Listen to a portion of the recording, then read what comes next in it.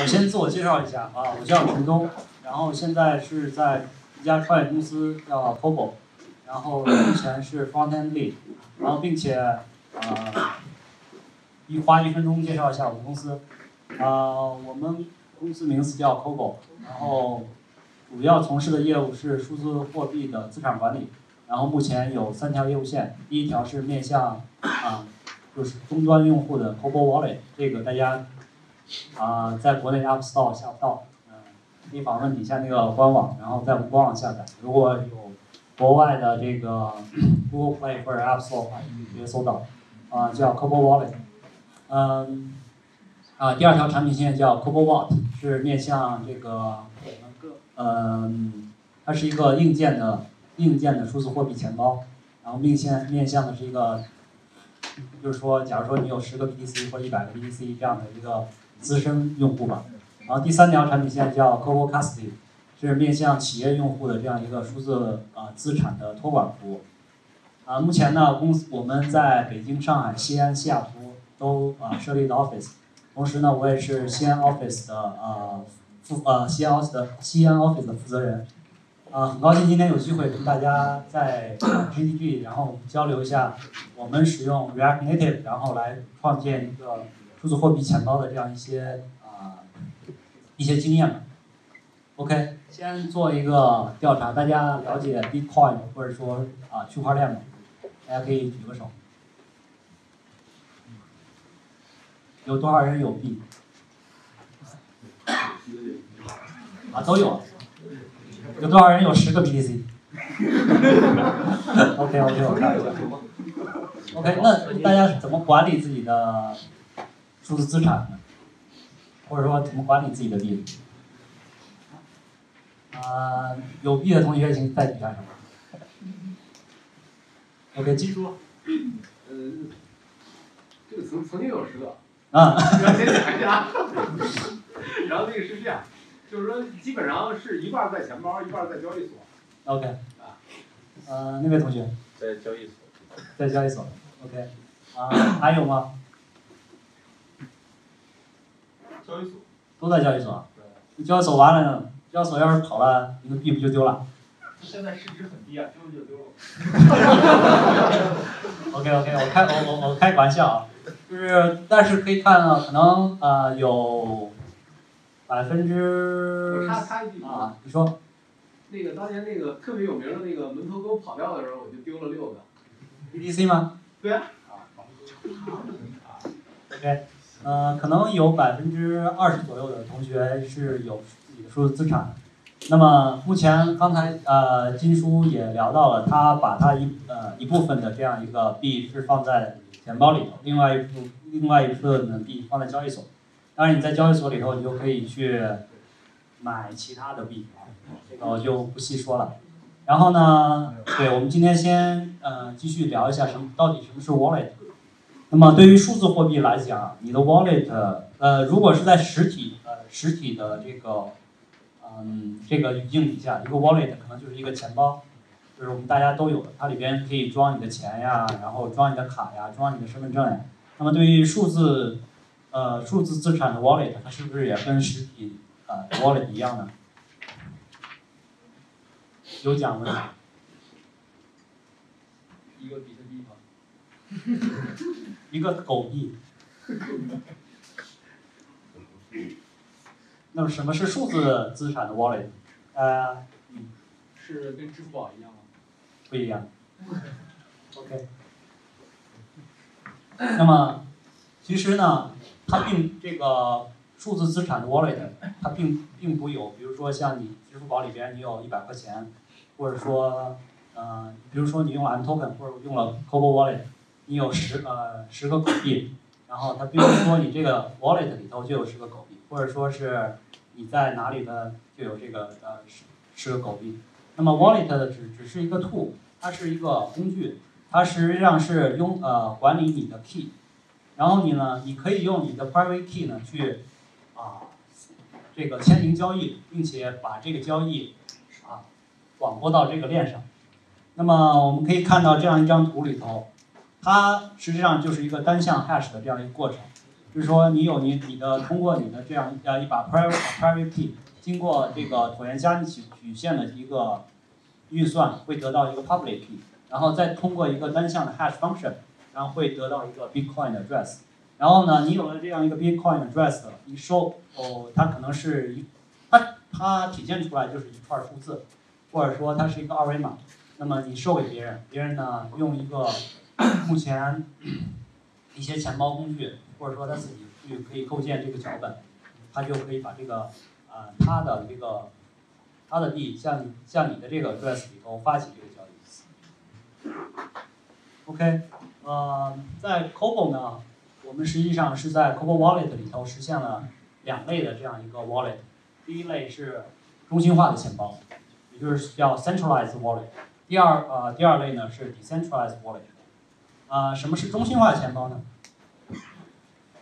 所谓中心化的钱包呢，是指你都呃，你用户其实并不会保呃管理自己的私钥，你的私钥实际上是在呃 Cobo 的后台去帮你管理的。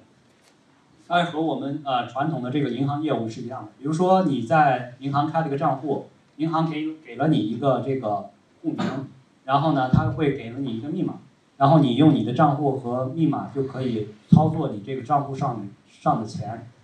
那么对于这个中心化的钱包也是一样的。啊，我们在我们的后台呃会保存你的私钥，然后呢，你把 你可以从啊你的交易所，然后把币啊充值到我们的 wallet 里头，然后呃我们的 wallet 会去啊帮你去啊管理这个呃这把私钥，帮你去签名这个交易。这是第一类。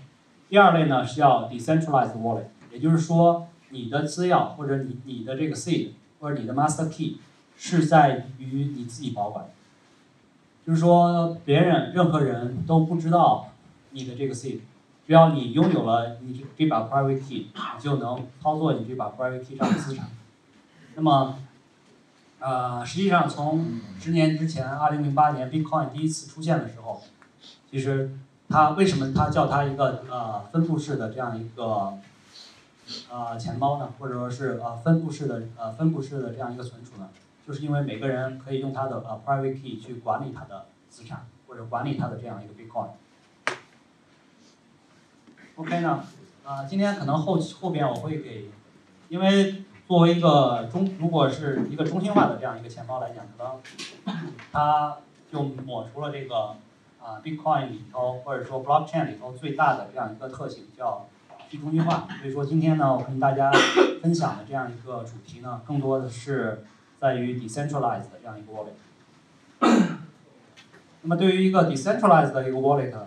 那么 OK，呃，问题来了，就是如果说你只有一个币，或者说只有一个一把 private key 的时候，你可以把它记在纸上，记在你的脑子里边，记在任何呃任何一个地方，你只要不不告诉别人就 OK 了。那么，当你啊，当你的这样一个 private key 多了，你怎么来管理它呢？嗯，最初始的时候，它就是这样一个啊，这样一个呃 random 的 private key 的管理的这样呃这样一个 wallet，就是说所有的钱包啊，它会储存你所有的这样一把 private key。那么这样的管理方式，大家觉得有什么问题？或者大家想呃设想一下？有没有可能有有有一些什么问题？嗯，和我能想到的一个问题就是说，你因为你这呃所有的这样一个 private key 都是这个呃随机生成的，那么你也就很难去用它来把它管理起来。有可能在呃一把 private key 上，可能十年之前或者五年之前你存了十个 BTC 或者三百个 BTC。OK，那到今天这就是一笔很很大的资产。那么怎么来解决这这个问题呢？就是说现在目前主主流的这样一个钱包，实际上都是 HD 钱包。所谓的 HD 钱包呢，并不是高清钱包，而是指多层确定性钱包，也就是这两个单词。这个这个是多层，这个确定性。多层确定性钱包，什么是多层确定性钱包呢？也就是说，它是由一个 seed，呃，会导出这个一把 master key，然后经过 master key 呢，会 derive 出来很多 child key，然后每一个 child key 呢又能 derive 出来它的 child key，就是说这种它可以再往下去 derive，就是子子孙孙无穷尽也。所以说用户只用记这个 seed，或者说只要记住这把 master key，它就能推导出来它的子子的 private key，孙子的 private key，重孙子的 private key，它的优点就很明显了，就是说你只用记呃记住 seed 或者记住这一把 master key，就能啊用来啊保存你的整个的这样一个数字资产。那么在呃因为 Bitcoin 发展了十年，然后也出现了这种。目前来说也出现了各种各样的标准，然后目前和 HD Wallet 相关的标准有三个，一个是叫 BIP 三二、BIP 四四和 BIP 三九。其中呢，BIP 三二呢，就是刚才我给大家介绍的多层确定性钱包的这样一个嗯标准。它的过程简单呃简单来讲呢，就是说它它的呃 Master Seed 是一个随机生成的128位的这样一个随机数。然后呢，通过这个 master seed 经经过一个 hash function，然后可以得到它的 master node，然后经过一个 master node，可能可以 derive 出来它的 wallet node，然后呃 account 级别的这样一个嗯 p 嗯 private key，然后呢也可以继续向下 derive，derive 出来 chain 级别的，还有 address 级别的这样一个 private key，嗯。这个就是 BIP 三二定义的这样一个标准，它的优势就是说，你当你啊保存好你的 seed 以后，你就可以，嗯，其实是可以用它，然后来管理你整个的这样一个数据呃你你的数字数数字资资产。那么，当 BIP 三二被提出来了以后，呃，大家发现或者整个社区发现，其实还是有一些问题。有什么问题呢？因为不同的家的实现方式，它可能它 de 呃 derive 的方式是不一样的。那么怎么来解决呢？那么就提出了 BIP 四十四的这样一个改进呃改进的这样一个方案。嗯，它就是一呃一串字符串，然后以 M 开头，然后第一呃第一个字符串呢在 BIP 四十四的时候就是它的 purpose，然后它 hard code 是四十四。那第二个字符串呢就是 coin type，实际上它是定义出来了不同 coin 的这样一个 index。那么零是代表的 Bitcoin，然后六十代表的是 ETH。幺九五是 Tron，幺九四应该是 US，嗯，再下一级别就是 account level 的这样一个 index，那么你可以把它理解成为在一个大企业里头，比如说你不同部门实际上是可以啊把它定义成不同的 account，比如说技术部门它的 account 这个 index 是零，HR 部门它的 account index 是一，嗯。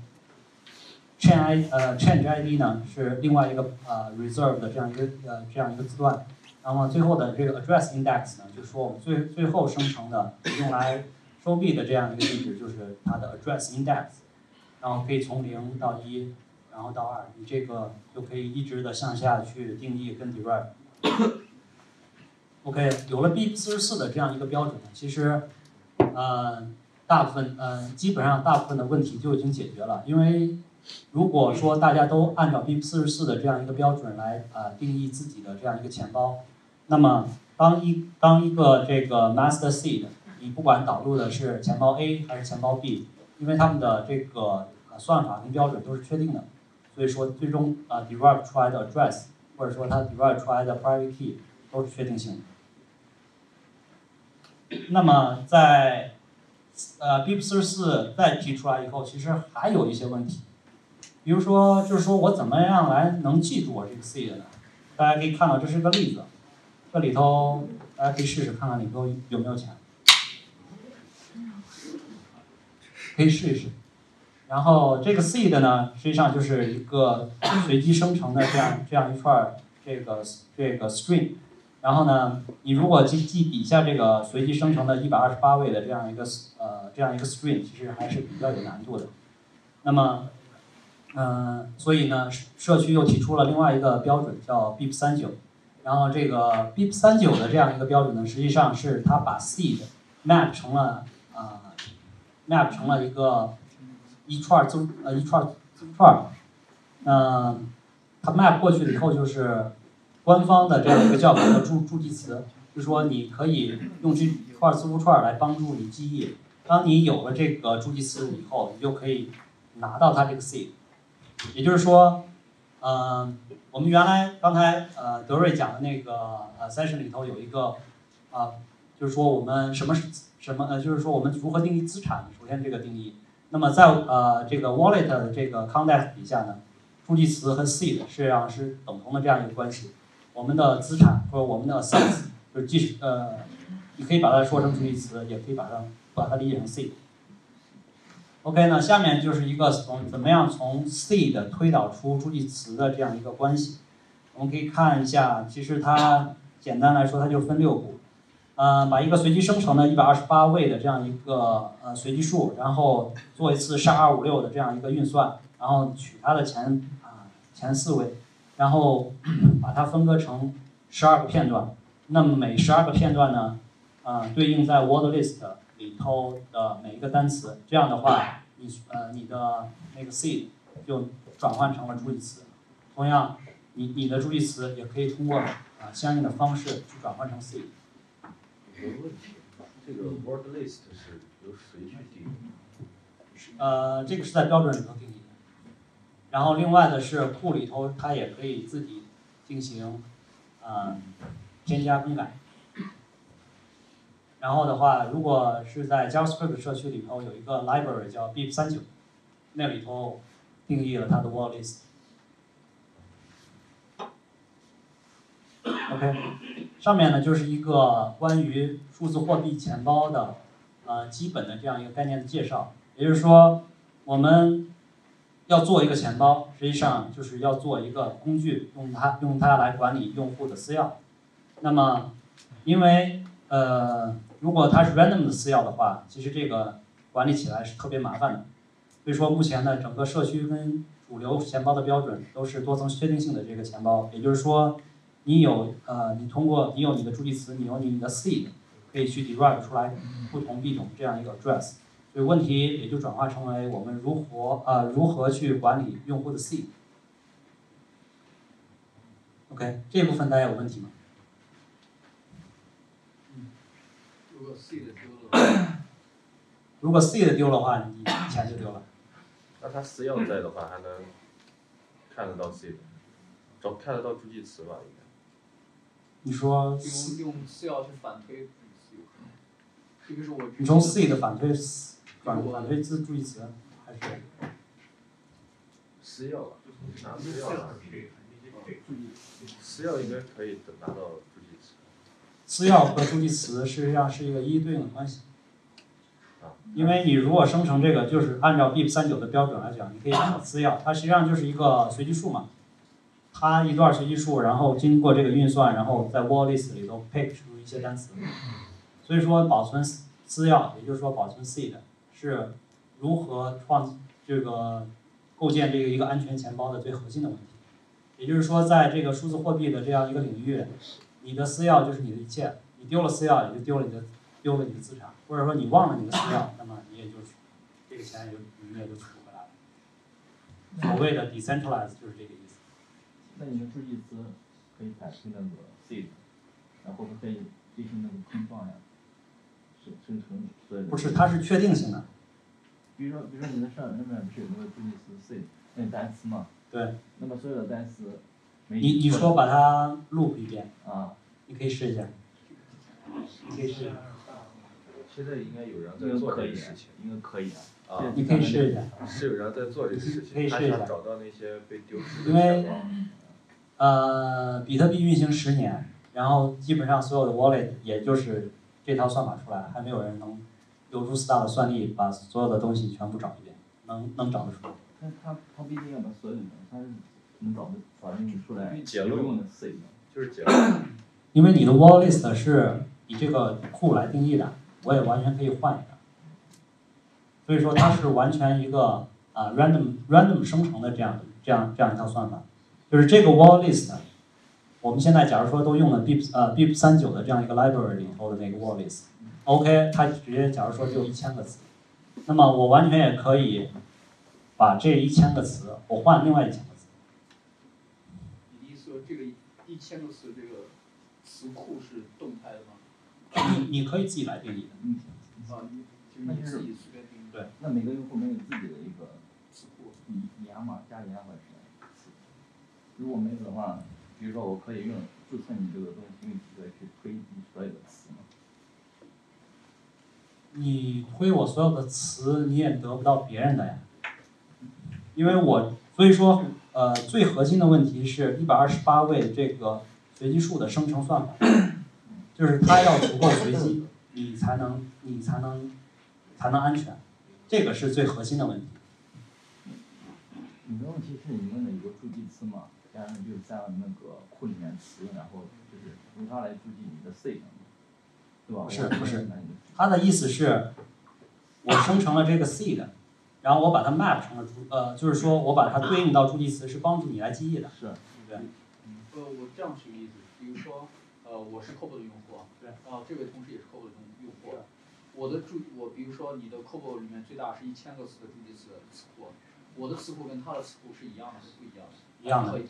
一样模一样。这个 word word list 是一样的。加入都是也是一样的，是吧？是。OK，假如你有十万用户。对。当然，当然，我觉得这个比较变态，应该不会这样。就是说，其实大家每个人都会有注意词，往去碰的话，大概可以很大的概率是把你一千个用户你你碰出来只是那个词库。但是它是有顺序的。嗯就是说，大家看。大家看到这个这个这个注这个注记词啊，假如说第一个单词跟第二个单词顺序一变，我的 seed 就是另外一个 seed。就相当于我一得到一个字典了，在这个字典里面我就继续按顺序往上碰，就概率就比以前要小很多。那你可以算一下，你一千个词，你你你你，对吧？你你可以算一下它的，就是说你可以试着算一下它的这个计算次数。OK，还有其他问题吗？OK，好，那下面一部分就是说，回到我们如何来构建我们这个钱包。第一个问题是我们为什么要用 React Native？OK，React Native 的有一个特点叫 Learn Once, Run Anywhere，就是说你用它来学习一次的话，你可以用它来写 iOS 的 app，可以用它来写安卓的 app。然后呢，如果你对 React 熟悉的话，你用它可以写 Web。所以呢，这样一个特性呢，对于一个创业公司来说，或者说对一个创业团队来说是，嗯，成本来讲是最合算的。因为到目前来讲，我们的前端 team 也只有，就所有的人加一起也只有六个人，我们有四个 app，两个 web。所以说，对，所以说我们选用了 React Native。第一个是从成本上面的考虑，第二第二部分呢是根据我们的业务上来讲，因为呃这右边这张截图呢是你在 GitHub 上搜索 blockchain 以后，你会得到的这样一个，呃，你会得得呃得到的这样一个结果。我们可以看到呢，JavaScript 的这样一个 library，实际上是有两千两千两呃两千两百多个，然后如果再加上 TypeScript 的话，应该能达到两呃两千五百多呃多个这样一个 library。那么相比于第二名的 Python，其实是它的四倍之多。就说你使用了 React Native，实际上是拥抱了 JavaScript 的这样一个社区，有很多成型的这样一个 library，你都可以，嗯，你都可以去利用起来。嗯，对，第三点呢，就是说刚才讲的我们这个呃人员结构的问题，我们希望用最少的人能做出最快的最快的东西。OK，呃，这就是我们如何来从技术上来架构我们的 Global Wallet。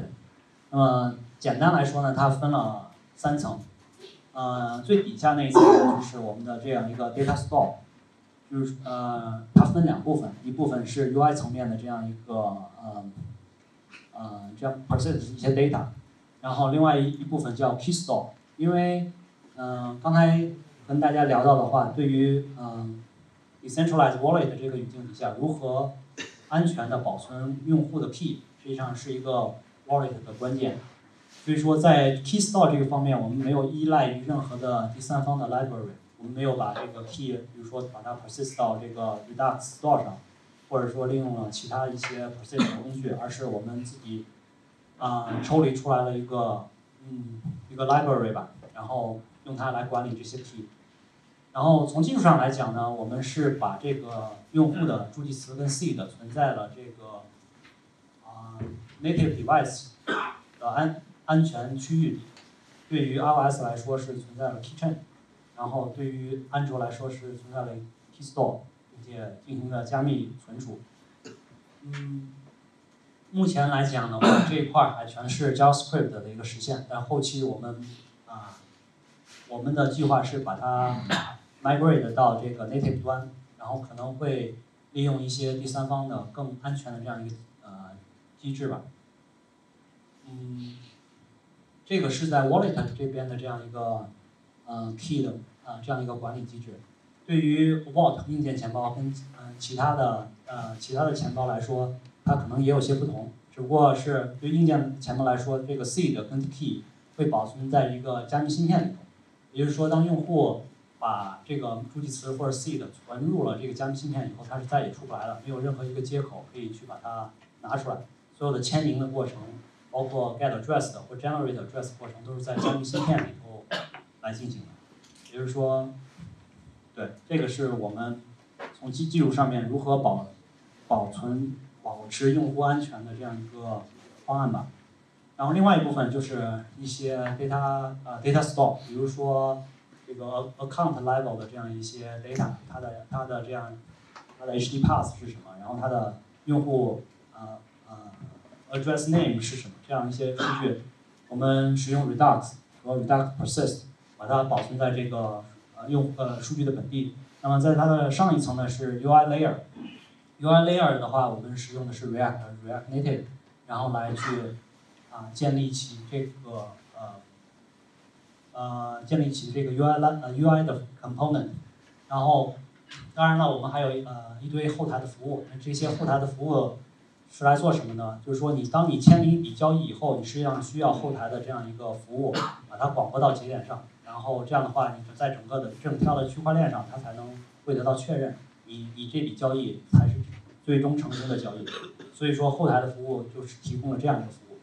我们 App 端和后台服务的话，我们呃使用的 library 呃使用的这样的方式是 RxJS，就是 Reactive Programming 的这样一个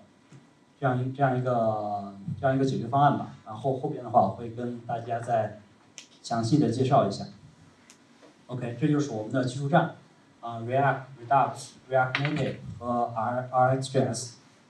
OK，下面就是说我们在使用这些技术上呢遇到了一些问题，或者说我们自己觉得我们做的比较不错的一个地方。第一点呢，想跟大家分享的话，就是我们的在我们的这样一个项目上，或者说在我们的产品里头，大量的使用了这个 pure component 的这样一个啊、概念。大家对 React 有了解的可以举下手。OK，呃，对，就是如果对 React 有了解的话，这个 pure component 的概念是，嗯，应该大家都比较熟悉的吧？它是就是说它和 React component 是，呃，它就是 React 的 component 的一类。然后呢，唯一的不同的话是，嗯，React component 没有那个呃没有实现这个数 component update 这样的方法，但是对于 Q component 它自己来实现了这样一个方法，它自己会做 diff。当它判断呢是有 props 或者 state 变化的时候，它这个会去 re-render 这个 component。OK，在使用这个 Q component 里头呢，我们也啊总结出来两点经验吧。第一点是不要 mutate state object，第二点是那个嗯、呃在 render 呃在 render 的时候不要 create a new function，或者是 object 或者是 arrays。嗯，下面那个例呃下面这个例子呢，是一个大家能看得见吗？可以。OK，就是一个典型的 bad practice，就是说我们有一个，当然这个是我用呃我用那个 Web 上的写呃写的一个例子啊，就是说它有一个 render function，然后在这个 render 的这样一个 HTML component 里头有一个 button，然后这个 button 里头有一个 click 方法，然后在这个 click 方法里头做了一件事情，它把 state 上的 item 拿出来，然后重新 push 了一个 new item 进去，然后把它 set 上。那这样写的问题是？如果使用 build component。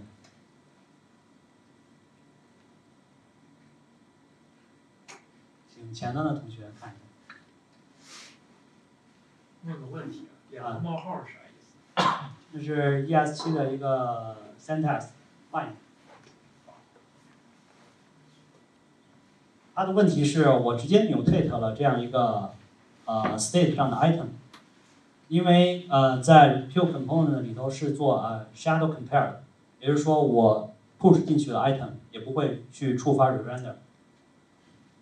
这个就是第一点，你 never 不永远不要 mutate state component。如果说你是要改变它，你就会你你用第三方的 library 也好，或者说你用 ob object design 也好，把它生成一个新的 ob 呃新的这样一个 object，然后然后付给它。问题啊，OK，就是我虽然不懂那个 React 那个 Pure Component，但是比如说安卓开发里面它，呃，我不是专业的啊，就是说安卓开发里面不是说你渲染的时候不能放在主线程，不能放到 main 的那个 app 那个里面，是一个意思吗？啊、可能还不是一个意思。嗯，对，因为这个是 React 的这样一个概念。你这样为了是做渲染吗？呃，它是 render 这样，嗯、那，讲细起来它是 render 这个 React component，对，然后 React component 会先生成一个 Shadow DOM 的 React component DOM tree，然后 DOM tree 的话会去 diff 呃 React library 会去 diff 这个 DOM tree 的变化，然后把它 apply 到你的 React Native 里呃上头，就是你你你真实的 view 层，这一部分都是 library 对，在做。那你就是 onClick 这个是一个事件吗，就是你还是对这个 button 的那个东西做一个渲染，或者说是一个什么？这个是个 callback function，就是我点我 click 的时候，它会 call 这个方，去 call 这个方是你回调一下嘛。是哦，OK。另外，在在在在 React Native 或者 JavaScript 里头，因为它是一个单线程的这样一个 library，所以说，呃，JavaScript 是个单线程的语言，应该应该应该应该这么讲。所以说，因为我只是我看到这，就是因为我只是在学校里学了一点安卓开发，然后也不懂，然后只是感觉这个跟那个有点像，就是回调完了之后，你更新主的那个 active 的时候，你不能去刷页面或者怎么着，就嗯，渲染的东西不能这个。不是一样的，呃，不是同一个概念。呃，第二个是在 render function 的时候，我要去 create 一个 new function，然后这里边也有一个呃例子，比如说在这个上面一个例子里头，我有一个 custom import，然后在 onChain 上我的我定定义了一个箭头函数，就是说我会 update 呃我会调一个 update 方法，那么 它的问题是什么呢？因为呃这个箭头函数的话，你每 call 一次，它会重新 create 这样一个 new function。这样的话，它会呃导致你这个 component render，但是其实它只是一个呃，它只啊它只是一个这样一个办的这样一个 action，所以说完全你没呃没必要去重新呃 create 一个 new function 出来，所以说可以参照下面这么一个写法，把这个 callback，然后把它按的到这呃在 construct 呃在你那个 class component 声呃声明的时候，你声明一个 update 这样一个方法，然后把这个方法传传到 props 上，然后然后进行使用。OK，第二个我们大量使用的这样一个实践方式呢是 HOC，也就是 High Order Component 的这样一个概念。嗯、其实 High Order Component 的概念来源于这个 High Order Function。所谓的 High Order Function 呢，就是说你它是一个 function，你传入一个 function，然后返回的是另外一个 function。那么对应到 component 的这样一个概念里头，是它是一个 function，你传入了一个 component，返回给你的另外一个 component，它有什么用呢？嗯，我们可以看那个右右边的这张图，就是说对于一个呃 component 来说，我可以使用 higher 呃 high order component 的这样一种方式，把一些公用的这样一些 behavior 或者说是呃 stop 呃或者 style，然后把它抽象出来。例如说，在你的 app 里头，你每一个 page 上都会有，比如说它有一个下拉 box 这样 show alert 这样一个这样一个操作。那你难道在每一个呃这个 component 里头都会是把它放进去吗？这显然是不是一个很好的方法。所以说，在我们的 app 里头，我们把它写呃定义成了一个 high order component。然后，如果说你是需要有 show alert 这样一个行为的，你只要你只用简单的把它 wrap 成呃 wrap 一层就 OK 了。OK，呃，下面呢就是我们在项目中真实使用的这呃这两个 high order component，一个叫 with navigation，一个叫 with alert actions。第一个呢是呃，因为从在这个 App 开发里头，比如说从页面 A 调页面 B，有可能要传输一些数据，呃数数据过去。那么在 React 里头，我们是通过这个 navigation 然后给它传进去的。OK，那么问题来了，假如从页面 A 到页面 B 我要传一些数据，然后从页面 B 到页面 C 我要传一些数据，所有的这些行为，所有这些 component 都希望它可以从 navigation 上拿拿数据，这样这样这样一个行为。那么那么怎么来做呢？实际上我们就并把它抽象出成为一个 A 呃抽象成为一个 higher 的 component，然后所有需要有这样一个呃行为的地方，我们就把它 wrap 一下。嗯、那么第二点呢叫 with with alert action，就是刚才我刚才讲的这样一个概念，就是说所有的地方我们需需要去受 alert 的时候，我们也可以简单的把这个 alert action 把它 wrap 进去。这样的话，所有需要有这个能力的话，只要经过这一层 wrap 就可以获得这个能力。OK，这个是我们呃实际项目上的这样一个 component，在这个 component 呃，在这个 component 上来讲，它呃它叫一个 sign coin page。那么对于这个 sign coin page 呢，因为它有从 Redux Store 上拿数据的这样一个需求，所以说它用了呃 connect 这样一个呃 HOC，它有受 alert 这样一个需求，所以说它呃通过 with alert action 这样一个 HOC 获得了这样一个能力，因为它也有从 navigation 上拿数据的这样一个需求，它也呃通过 navigation 呃 with 呃 with navigation 这样一个 HOC，然后同样把这个数据呃拿了出来。OK，上面就是说我们在使用 React 来构建我们啊、的 App，怎么样来做这个数据抽象和一些嗯怎么样能达到一个啊、性能上的优化的一些点吧。主要的是两方面，第一个就是大量的采用了那个 Pure Component 这样呃这样一种 component，第二个是嗯把公用的这样一个逻辑做成一个 HOC，把它抽象出来，所有的需要的地方你可以。嗯，把它直接 Web 起来。OK，那么在如果你是做过 web 开发，或者说是使用过 React，那么你应该大概率会接触到 Redux。呃，我想调研一下大家对 Redux 有多少了解，或者说知道或者用过这个 library。只是听说过是吧？OK。呃，Redux 这个 library 实际上它是做这个 state management。然后，因为嗯，它只它有四个呃四个概念嘛，对于呃 Redux 这个 library，action、reducer、dispatch 和 middleware，就是说 Redux 它有一个全局的这个呃这个 store 用来管理你 app 的这样一个状态，任何需要去更新呃 store 上的呃 change 的话，你需要去发一个 action，这样一个 action 呢会经过一个 middleware，里边会做一些这个 side effects，比如说靠一些 API。然后写你的 local storage，呃，在你的 local storage 里头写数据，嗯，对，等等这样的事情。然后经过这个 middleware 呢，会进到一个 reducer 里头，然后在这个 reducer 里头会进行相应的计算，然后最后把这呃把这些 reducer 里头的呃的 change，然后 apply 到你的 store 上的变化。同时这个 store 上的变化会触发你 will 的更新，所以说这个就是 Redux 整个的一个数据流的关系。这也是在 React 整个的设计里头，单向数据流也就是这这么一个概念嘛。通过一个 action 去引发一个 reducer 的变化，然后呃去触发一个 reducer，reducer 会引起 store 上的变化，store 上的变化会去渲染你的 view 层的变化。呃，下面就是一个最简单的这个 Redux 的例子，它就是一个 to do list。当我发了一个 site visibility filter 的这样一个 action，它会去触发你 state 上的这样一个 visibility filter 的这样一个变化，然后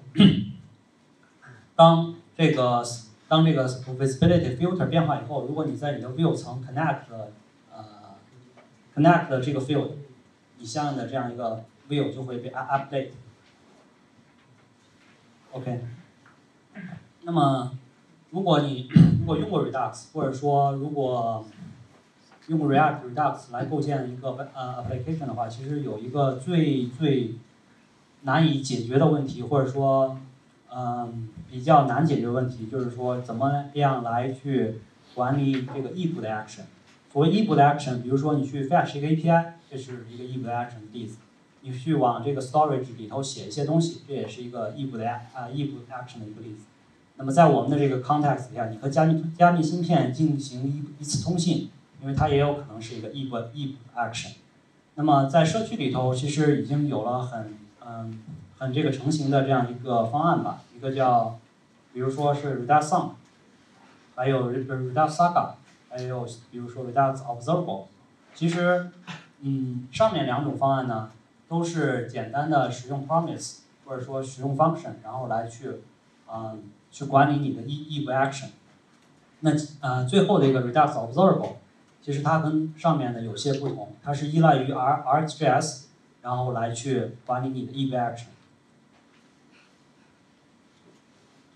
呃，我们可以看到这样一个例子里头，这是我真实写的一个 project 里头，我们怎么去呃管，怎么去发这个 e v action。比如说这个 action 叫 fetch active flow，然后呢，嗯，它做了一些什么事情呢？它首先 dispatch 了一个 start fetching 的这样一个动作。那么这个 action 发出去以后，可能会导致你呃 store 上的一些状态变化。这样的话，你的 view 层可能有个 loading bar，然后嗯，你会通知用户你正在 loading，那么 OK，它返回了一个 promise，叫 get active 呃 de detail 的这样一个 promise，然后在它的完呃 resolve 的时候，它发了一个第二个 action，就 dispatch 了这个成功的这样一个 action。当它有任何错误的时候，它会 dispatch 一个 fail 的 action。这个就是我们用呃 Redux Song 或者说呃 Redux Saga，你会。你的代码就应该大部分就是长啊长这个样子。那么 promise 有一些什么问题吗？其实它有，首先它有这样几个特点，就是说第一个是 guaranteed values，就是说你发了一个 promise 出去，你的 send 方法或者是 cat 方法是一定会被保保持执行的，对吧？你发了一个 request 出去，你的 send 就是说你 request 成功。你的 then 肯定会被执行，你的呃 request 失败，你的 catch 一定也会被执行，这是第一个特点，guaranteed values。第二个是 immutable，就是说你不你返回的数据是不呃不会有任何变化的，它是一个 immutable data structure。这是第二点。第第三点是 single value，也就是说它不管你是用 zen chain，它 resolve 出来是一个一个 data，这个就是 single value 的这样一个特点。那么这些特点又有是一个什么问题呢？OK，我们看一个例子。下面呢是我们这个钱包里头的第一个页面是资产页，就是说它会列出你所有的币种。嗯，比如说，呃，在这个页面里头有 ETH 有 BTC。那么 OK，我点击了一个 ETH，我进到我的呃 ETH 的这样一个钱包，然后它会再去发剩呃下面的 request，比如说它会去。batch 你的你的 balance，然后他会去拿你的这个 transaction，这是另外一个 request。OK，这个时候当这个 request 没有回来的时候，如果返回了 back 呃 back back back button，那么我的 then 方法里头的那呃那部分逻辑是不是是不是也会被执行？对吧？这个这个这个没有问题吧？就是，但是你从用户的角度上来看，你返回。你马上进来，然后你再点击返回，它其实是不期待那些啊逻辑被执行的，它也不期待那些 request 啊会被调用的。其实如果说比较好的一个方式，我们如果能 cancel 这个 request，是不是会是一个比较好的方式？cancel request 会有一些什么样的优势呢？第一个是你能节省节节省你的计算资源，特别是在 app 这种，因为你不知道你的用户或者你最终的用户是在一个什么样的手机上来使用你的 app。可能是一个很低版本的安卓，那么能节省用户的计算资源，这是一个很大的这样一个优势。第二点是，它 back boss 这样的一呃这样的一个一个切换，很容易导致你的状态上的一些改变，那么这也有可能经常会引起一些比较奇怪的 bug。OK，我们就是说，那么好了，我们有需求是我们希望这个 request 被 cancel，那么怎么来解决呢？答案是 RxJS，但是怎么来解决，可能我在后面的这张这两张 slides 里边会给大家具体看代码。那么首先大家先简单聊一下什么是 RGS，。那么 RGS 里的核心概念就是一个 observable。OK，今天可能我不会特别的深入的去聊 RGS 跟 observable，因为如果展开的讲的话，可能会需要一下午时间，或者说一本书的这样一个篇幅，然后能才能把这个事情，呃，我觉得是要能讲清楚吧。可能只会跟大家去聊一些点。那么，所以对于一个 observable 来讲，它它是什么？它是它是一个它是一个数据流，就是说。我们可以看底下这个例子，就是说，在我们普通的这种编程的想法里头，你对于数据的这样一个集合，可能是一个 array，你把所有的数据，然后放在这个 array 里头。那么，但是它缺乏另外一个维度上的一个观察，就是说时间维度。就说你怎么量来从从时间维度上，比如说我发一个 request 出去了，回来了，这可能是两个 value。那么在传统的这样一个，或者说没有 R R 这样 React Programming 的这样一种方式里头，我是没法描述它的。那么 Result 呃这个 Observable 的呃这样一个概念的引出呢，是它给了你这样一个定义和这样一个描述，它是一个 value 的这样一个 string，它可以呃基于时间的来表述表表达这样一个数据。OK，有了这样一个数据，它能做一些什么东西呢？它就很呃，它可以很简单的去做 map filter，去做呃呃，它是去做 reducer，去做 concat，嗯，它还还可以很简单的，因为它是基于时间上的这样一个描述，可以去做这个 debounce，然后嗯，可以去在更加呃复杂的一些呃的这样一个操作符，比如说像 merge map 和 switch map 这样一个操作符。嗯，这张图呢，其实已经很嗯清楚的跟大家展示出来这个 R RGS 能做什么。比如说上面的这样一个书呃这样一个 string，我经过这个 debounce 的一个一个操作，在某一个时间我可以把它 debounce，然后你订阅下面这条数数据流的话，你就能达到一个被 debounce 过的这样呃这样呃这样一个新的这样一个 stream。OK，那么类似于我这里头讲的 Switch Map，Switch Map 呢是一种新的数据流，它做了一些什么东西呢？实际上它是 Switch 和 Map 的这样一个合集。Map 呢是一个什么概念？就是说 Map 的概念是我可以把一个一个数据状态变成两个。比如说在这个 Switch Map 里头以后，我可以把圆形的这样一个数据给它 map 成一个嗯菱形和这个正方形。然后对于那么上面这个流的经过 map 以后的这样一个数呃数据就变成了三条这样这样一个 string，每一条都是一个菱形和正方形的这样一个呃这样一个 string，然后我可以再进行呃 switch switch 的话，也就是说我可以嗯重新的去订阅最新的这样一条数据流，在这个例子里头，因为它刚开始变成了这样一个菱形和正方形这样一。呃，这样一条流，那么当有绿颜色的这样一个流进来的话，它去订阅了这个绿颜色的这条流，那马上这个蓝颜色的这个流呃出现了以后，它又会转而去订阅这个蓝颜色这样流，所以说最后的经过 switch map 操作以后的，呃这样一个 stream 的话，就是下面这样一个 stream。OK，这个如果说是对 RGS 没有使用过的话，这个概念可能有些抽象，那么我们来举两个具体的例子。我们现实的业务中都会呃用到的这样这样一个例子，比如说我们有在页面上，或者说在你的 App 里头有一个 button，然后这个 button 呢，嗯，你点击了一下，它会有一个事事件，比如说发了一个 request，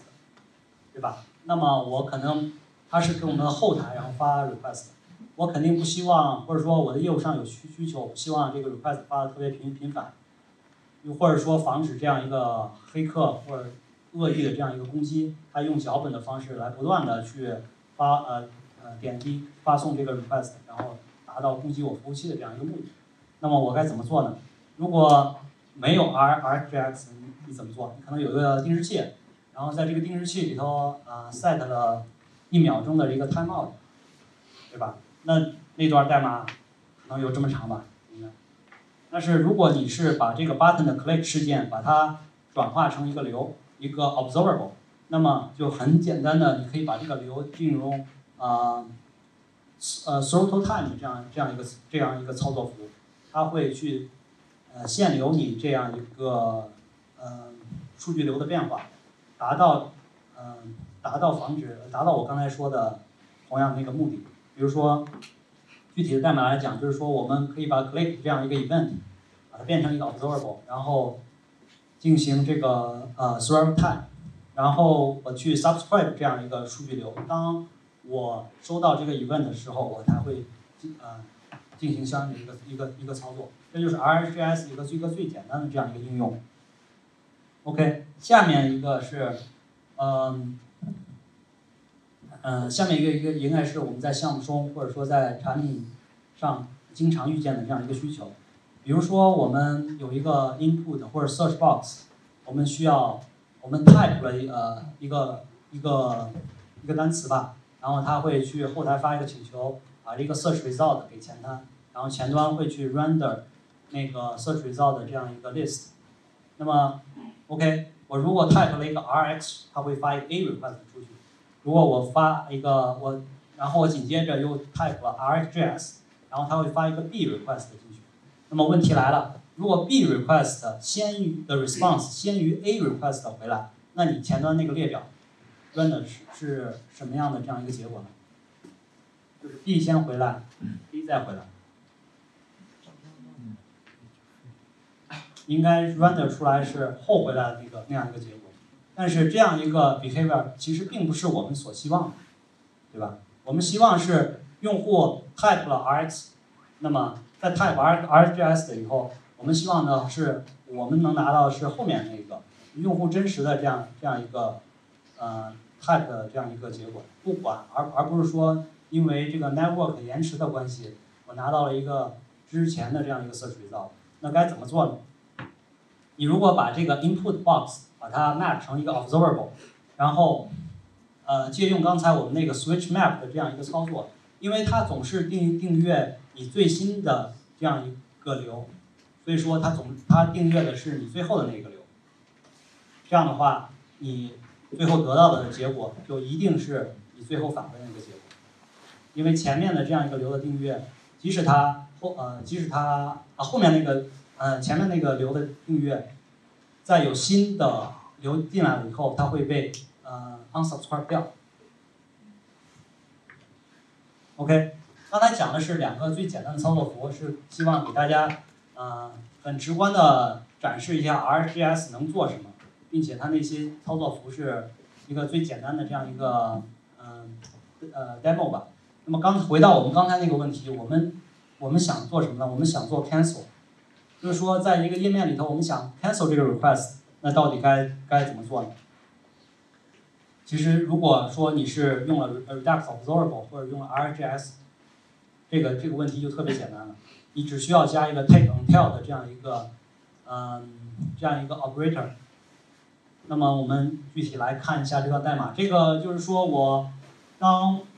我在我页面进来的时候，我去拿了我。这个云端资就是呃，我去拿了我这个用户的所有的资产，我去靠了一把 API，然后呢，呃，如果成功的时候，我我把我这个数据然后发了一个 action 发出去了。如果我失败的时候，我会收一个 alert 出来。那么好了，我如何 cancel 它？我只要再加一个 take until 的这样一个 operator，当这个页面返回的时候，我去发一个。呃，这个 cancel query 的这样一个 action 出来，OK，这个问题就解，这个问题就解解，呃，这个问题就解决了。那么使使用这个 R，使用这个 RxJS 呢，就是说可以极大的，就是极极大的这样一种思维上的改变吧，把你从 App 开发的这样一种呃模式中解放出来，以这个 React Pro 呃就是响应式编程的这样一种想法。来去去管理你的异步操作也好，管理你的用户呃用户的这样一个操作也好，OK。嗯，下面一个希望跟大家分享的点就是说，在我们的 App 里头，我们也支持了这个 DApp。所谓的 DApp 呢，就是叫 Decentralized Application。最最著名的例子，从去年呢，应该就是那个加密猫的游戏。我不知道大家有没有玩过，或者有没有人听听说过。就说，它是一个游戏，然后呢，你可以用你的 ETH，然后去买猫，然后你这个猫可以跟其其他有猫的人，呃，进行配对，然后它会生出来小猫，然后这个小猫的话，因为它会被 token 化，所以说它还可以，它如果上了交易所，你还可以进行买卖，就是类似于这样的一个 decentralized application。那么之前的这样一个游戏呢，大多都是在这个 client，嗯、在这个在这个桌面端或者说是在这个 browser 上玩的。那么怎么样在那个钱包里头去支持它呢？其实它就是简单的这样分四步。第一步呢，我们需要在这个，因为目前的这样一个 DApp 主要还是基于 Web，所以说我们需要呃在我们的 App 里边起一个 Web View，然后在这个 Web View 上呢，我们会要 inject 一样这样一个 object 进去，然后这个 object 进去以后，对于对于那个 ETH 来讲，它就是 Web 三，然后对于比如说我们，因为我们的 App 现在是支持 ETH 跟创，那么对于创的 App 来说就是创 Web，然后呢，这个 object 呢会 hijack 所有的这个 transaction，就是说需要用户签名的这样一个交易，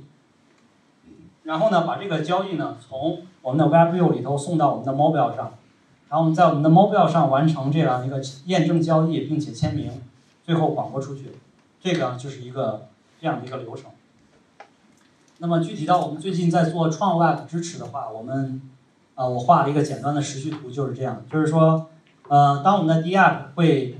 呃发起一个 sign transaction 的这样一个交易，然后呢我们注入的这样一个呃窗外会拿到这个这个交易，然后把这个交易呢放到我们嗯的一个 transaction queue 里头，然后我们会有一个 worker 不断的这样布这个 queue，然后把这个 queue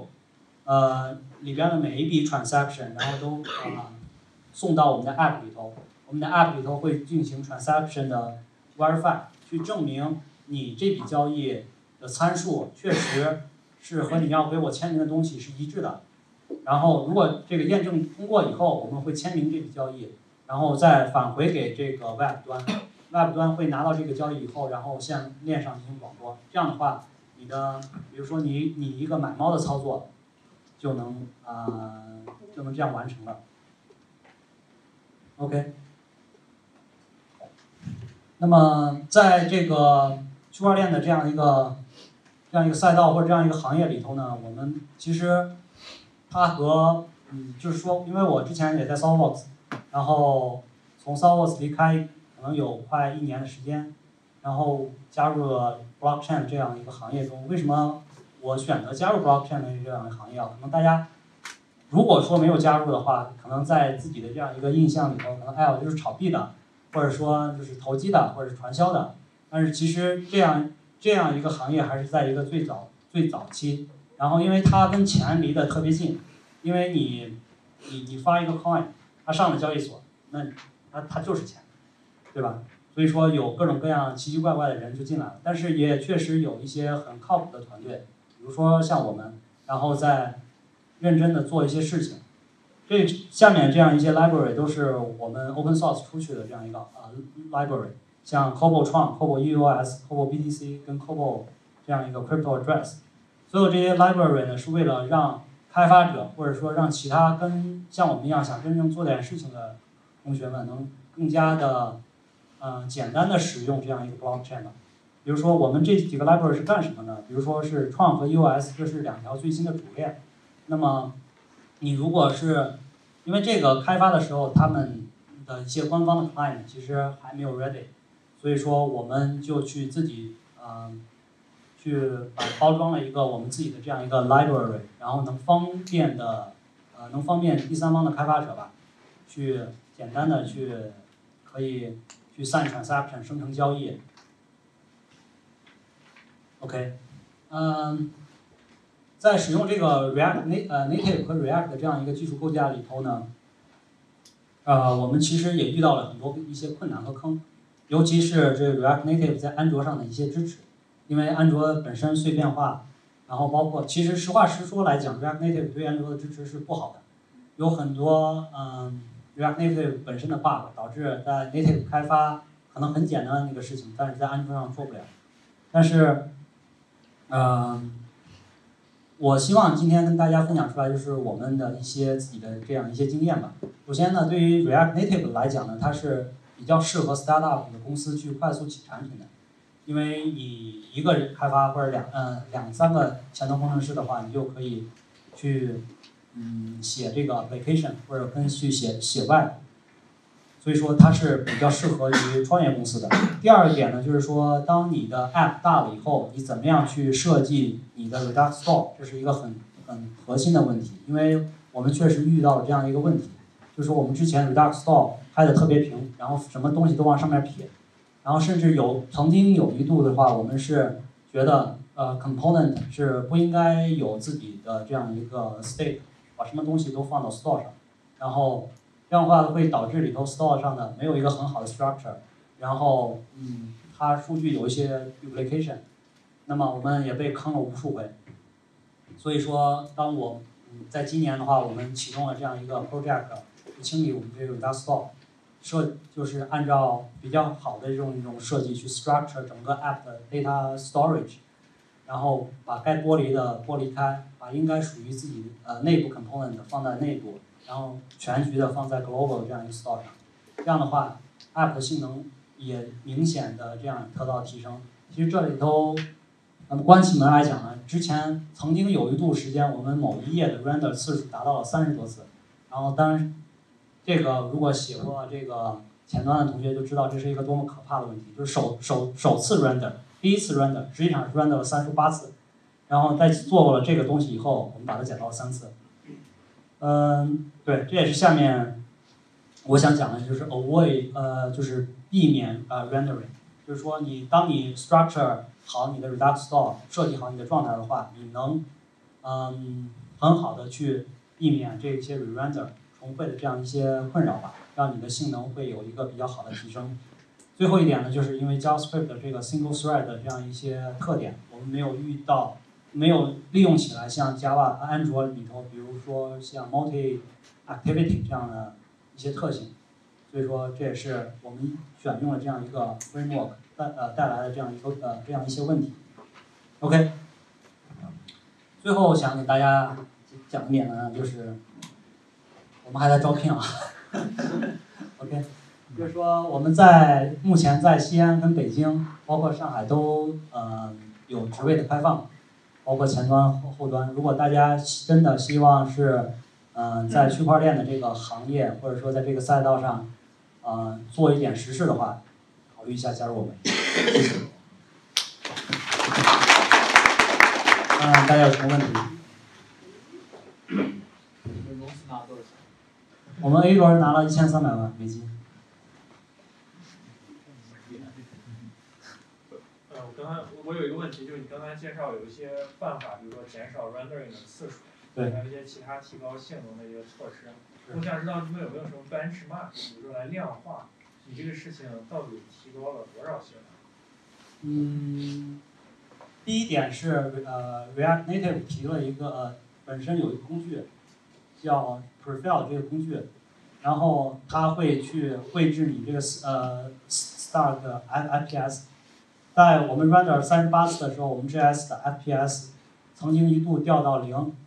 或者一，就在这个 level。然后当我们最后做了这个优化以后，它保持在四十跟五十之间，还不是特别好。我们是期望能让它在六十的的的左右。还有其他问题吗？刚才介绍这个